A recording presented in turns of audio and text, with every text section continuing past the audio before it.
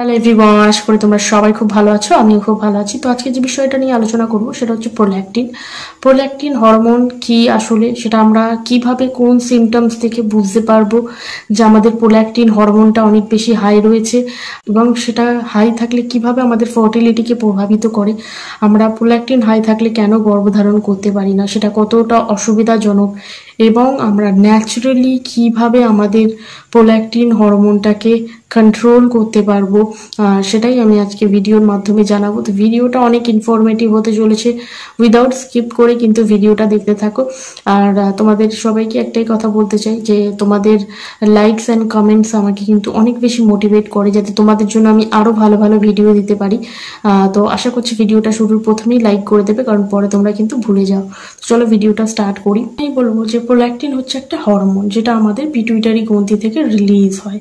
এই হরমোনটা কিন্তু আমাদের যখনই হাই থাকে, সেটা যখনই বেড়ে যায়, তখন কিন্তু আমাদের বডিতে নানান রকমের সংকেত দিতে শুরু করে। যখনই আমাদের বডিতে নতুন কিছু ঘটে, আমাদের বডি কিন্তু সেটার কিন্তু সংকেত দেয়। তো যখনই আমাদের প্রোল্যাকটিনটা হাই হয়ে যাচ্ছে, আমরা অনেকেই অনেক সময় লক্ষ্য করতে পারি, যারা অবিবাহিতা, তাদের ক্ষেত্রেই দেখবে এখন বেশিরভাগ ক্ষেত্রেই পিরিয়ডসের গণ্ডগোল সবাই রয়েছে, ঋতুস্রাবটা সময় মতো হয় না।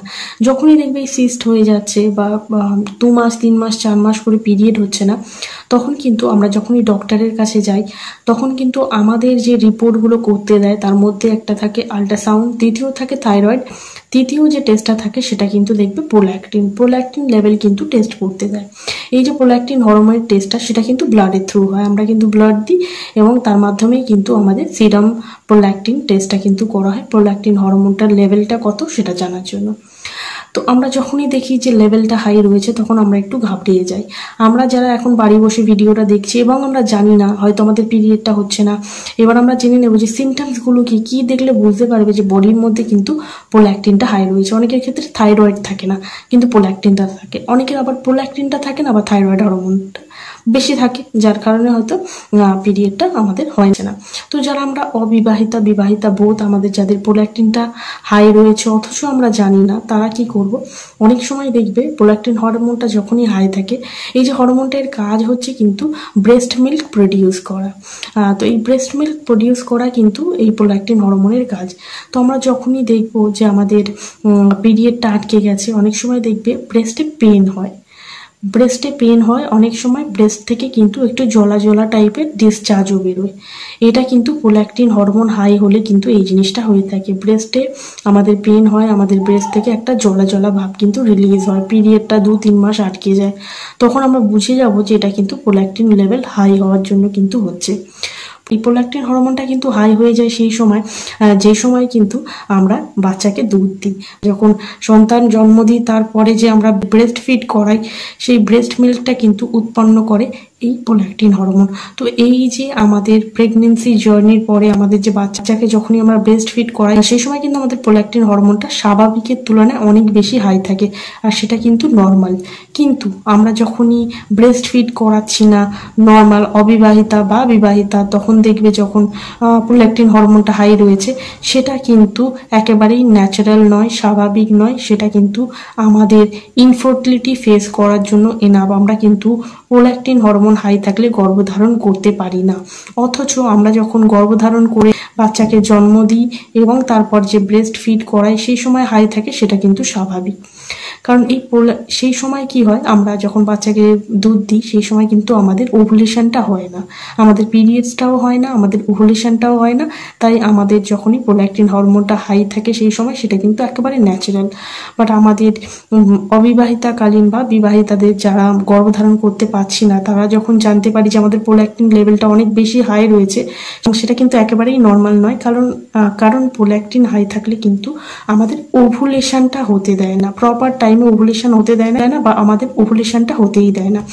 প্রোল্যাক্টিন লেভেল যখনই হাই থাকে, সে কিন্তু ইস্ট্রোজেন এবং প্রোজেস্টেরনের কাজটাকেও কিন্তু ব্যাহত করে। তাদের কাজও যখন ব্যাহত হয়, তখন দেখবে পিরিয়ডসটাও আসে না, এবং আমাদের ওভুলেশনটাও কিন্তু হয় না।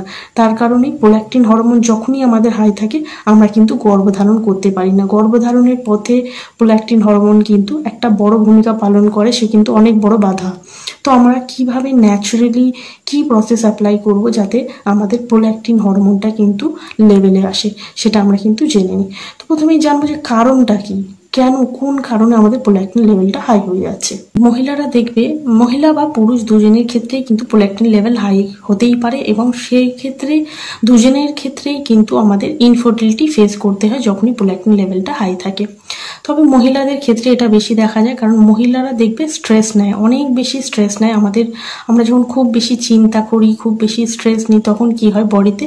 স্ট্রেস হরমোনটা রিলিজ হয়। আমি সবসময় বলেছি, যখনই গর্ভধারণ করতে যাই, আমরা কিন্তু খুব বেশি টেনশন নেব না। কারণ টেনশন কিন্তু একটা বড় জিনিস যেখানে আমাদের ডিমান্ডটা রিলিজ হয় না আর আমরা গর্ভধারণ করতে পারি না। তাই আমাদের রিল্যাক্স করতে হবে। স্ট্রেস মুডে যখনই আমরা থাকি, আমাদের স্ট্রেস হরমোনের কারণে কিন্তু প্রোল্যাক্টিনটা হাই হয়ে যায়। তারপরে আমাদের ডেলি লাইফের নানান রকমের জাঙ্ক ফুড রয়েছে। আমরা ফাস্ট ফুড খাচ্ছি, আমরা ভুল টাইমে ঘুমাচ্ছি, ভুল টাইমে উঠছি। আমাদের ডেলি লাইফের নানান রকমের কাজকর্ম যেমন আমরা, অনেক বেশি আমরা অনেক সময় দেখবে খুব হার্ড একটা কোনো ডায়েট চার্ট ফলো করছি, যার জন্য আমরা অনেক ফাস্টিংয়ে রয়েছি, আমরা খাচ্ছি না ঠিক মতো তো এটা যখনই করি, তখনই কিন্তু প্রোল্যাক্টিন লেভেল হাই হয়ে যায়। আবার অনেকে জিম করে, খুব অনেক বেশি হার্ড এক্সারসাইজ করে, যার কারণেও কিন্তু প্রোল্যাক্টিন হাই হয়ে যায়। তো আমরা চেষ্টা করব আমাদের বডিকে যতটা পারি রিল্যাক্স করতে। যেমন আমাদের হবিগুলো আমরা অ্যাপ্লাই করতে পারি, আমরা গার্ডেনিং করতে পারি। অনেকে দেখবে মিউজিক শুনতে পড়তে পছন্দ করে, অনেকে মুভি দেখতে পছন্দ করে। আমরা কোনো কিছু নিয়েই হয়তো এক্সাম বা যে কোনো মানসিক সমস্যায় হয়তো ভুগছি। আমরা চেষ্টা করব সেটা থেকে কিন্তু রিলিফ পাওয়ার। দেখবে আমরা যখন খুব বেশি কোনো জিনিস নিয়েই চিন্তা করছি, তখন আমাদের সুগার হয়ে যায়, আমাদের প্রোল্যাক্টিন হাই হয়ে যায়। তো সেক্ষেত্রে আমাদের দেখতে হবে কি, আমরা কীভাবে রিল্যাক্স করতে পারব, হাঁটাচলা করতে পারি, হাওয়া খেতে পারি, আর নর্মাল আমরা কাপাল ভাতি করতে পারি, আমরা প্রাণায়াম করতে পারি, যাতে বডি কিন্তু রিল্যাক্স হয়। কারণ এই কারণেই কিন্তু আমাদের প্রোল্যাক্টিনটা হাই হয়ে যায়। আমাদের ডেলি লাইফের গণ্ডগোল ঠিক টাইমে না ঘুমানো, অনেক রাত পর্যন্ত জেগে থাকা, আমাদের অনেক বেশি স্ট্রেস নেওয়া মানে অনেক বেশি আমরা হয়তো ফাস্টিং মুডে রয়েছি, আমাদের সুগার লেভেলটা বডির মধ্যে হাই হয়ে যাচ্ছে, যার কারণে কিন্তু এই ধরনের জিনিসগুলো হয়ে থাকে। তো আমরা চেষ্টা করব যে আমাদের এই ধরনের জিনিসগুলো যাতে না হয়, আমাদের বডিটাকে রিল্যাক্স করা আমরা চলে আসি, আমরা ডায়েটের মধ্যে কি অ্যাড করব যাতে আমাদের কিন্তু এই প্রোল্যাক্টিন লেভেলটা নর্মাল রেঞ্জে আসে। তো তার জন্য আমরা কি করতে পারি? আমরা খাবারের মধ্যে vitamin B six vitamin E আর জিঙ্ক আমরা অ্যাড করতে পারি। যেমন নানান ধরনের ডাল আমরা জিঙ্কের মধ্যে খেতে পারি, নানান ধরনের ডাল, বাদাম, তারপরে রয়েছে সিডস যেমন সিড সাইকেলিং যাদের প্রোল্যাক্টিন হাই রয়েছে, যাদের পিরিয়ড হচ্ছে না, তারা অবশ্যই কিন্তু সিড সাইকেলিং করবে। ভিটামিন ই জাতীয় জিনিস যেমন আমরা মিট বলতে পারি, আমরা স্প্রাউটস বলতে পারি, আমরা সলমন ফিশ বলতে পারি। ভিটামিন বি সিক্স যেগুলো হচ্ছে দুধ, ডিম পনির, ছানা, মাংস, শাক, সবজি, এগুলো আমরা কিন্তু আমাদের ডায়েটের মধ্যে ইনক্লুড করব যাতে কিন্তু যাতে আমাদের প্রোল্যাক্টিন লেভেলটা কিন্তু নর্মাল রেঞ্জে চলে আসে। তো এই খাবারগুলো আমরা অ্যাড করব। আমরা ভালোভাবেই বুঝে নিলাম যে vitamin B six vitamin E আর জিঙ্ক কিন্তু আমাদের ইনক্লুড করতে হবে যাতে আমাদের প্রোল্যাক্টিন লেভেলটা নর্মালে আসে। এছাড়াও যদি মেডিসিনের কথা বলি, অনেক সময় আমরা কি হয় কোনো একটা মেডিকেশন নিয়েছি যেটা হয়তো স্যুট করেনি, তার জন্য কিন্তু আমাদের বডিতে প্রোল্যাক্টিন লেভেলটা হাই হয়ে যেতে পারে। তো কোনো একটা জিনিস কোনো ওষুধ খাওয়ার আগে অবশ্যই কিন্তু ডক্টরের পরামর্শ নিয়ে খাব।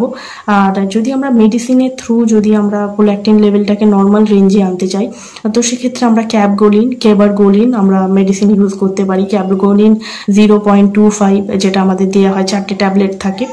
সেটা হাফ হাফ করে প্রত্যেকটা সপ্তাহে অ্যাড করতে হয়। এক মাসের মধ্যে হয়তো চার সপ্তাহ। হয়তো যেটা সোমবার দিন খেলাম, তারপরে নেক্সট উইকে আমরা সোমবার দিন খাব হাফ হাফ করে কেটে কেটে খাব। কিংবা প্রোল্যাক্টিনের রেঞ্জ যার যত রয়েছে, সেই হিসাবে হাফের জায়গায় হয়তো একটা দিয়ে দিল। আমরা সপ্তাহের মধ্যে প্রত্যেক সপ্তাহে একটা একটা করে দেওয়া হয় খেতে। তো এইভাবেও কিন্তু প্রোল্যাক্টিন লেভেলটা নর্মাল রেঞ্জে এসে যায়। মিনিমাম এক থেকে দেড় মাসের মধ্যেই কিন্তু প্রোল্যাক্টিন লেভেলটা অনেকখানি কিন্তু নিচে নেমে আসে। যখনই আমরা ক্যাবগুলিন বা কেবারগুলিন আমরা ট্যাবলেটটা ইউজ করে থাকি। তবে সেটা অবশ্যই কিন্তু ডক্টর রেকমেন্ডেড ডক্টরের পরামর্শ ছাড়া কিন্তু সেটা খাওয়া যায় না। তবে আমরা যদি এইভাবে এইভাবে নর্মাল ন্যাচারাল ডায়েট ফলো করে আমরা প্রোল্যাক্টিন হরমোনটাকে কিন্তু কন্ট্রোলে আনতে পারি। এবং সেটা কন্ট্রোলে আনার পর কিন্তু আশা করছি আমাদের যে ওভুলেশনটা সেটা টাইমলি হবে, আমাদের পিরিয়ডটা টাইমলি হবে এবং আমরা কিন্তু খুব সহজেই গর্ভধারণ করতে পারব। তো আশা করছি ভিডিওটা অনেক বেশি ইনফরমেটিভ লেগেছে। যদি ভিডিওটা ভালো লেগে থাকে তাহলে লাইক কমেন্ট শেয়ার সাবস্ক্রাইব করে দিও। তো চলো আবার আসছে নতুন একটা ভিডিও নিয়ে। ততক্ষণের জন্য টাটা।